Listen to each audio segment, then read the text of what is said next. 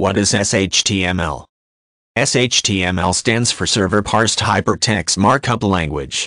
It is a file extension identifying a particular type of hypertext markup language, HTML, file.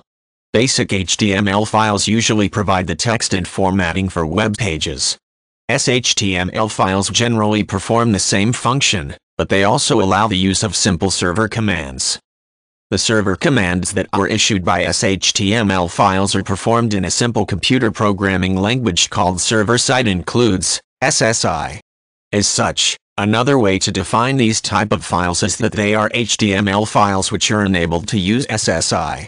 In order for a web server to recognize an SSI command in an HTML type file, the file usually must have one of the following extensions, SHTML, SHTM, or STM. This requirement is a function of the settings present on the web server, however.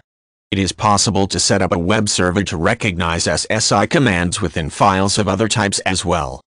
The main purpose for which SSI is used in web development is to copy additional content from one or more files into another. In SHTML, how to do this is straightforward. Take, for example, a website that has many pages, with each page having different content. A web developer may wish to have a standard portion of text at the bottom of each page, perhaps some company information or copyright notice. The developer can place the standard text into a file on the web server, the include commands in the SHTML link to the footer file and copy its contents into the resulting web page.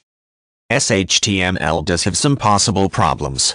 One issue that sometimes arises about SHTML index files is that many web servers are set up to only recognize a specific file name as the index, or home page, of the website. If this file name does not have an extension that is recognized as an SSI-enabled file, then the SSI commands will not be executed. SSI provides a useful way to perform simple server-side tasks.